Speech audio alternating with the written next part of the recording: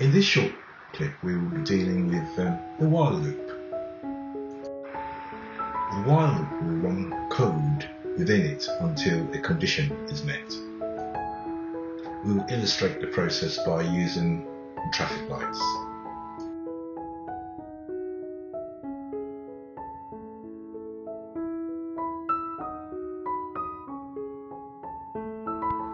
Once a traffic light is red, it will be equals to no, and then the code will not run.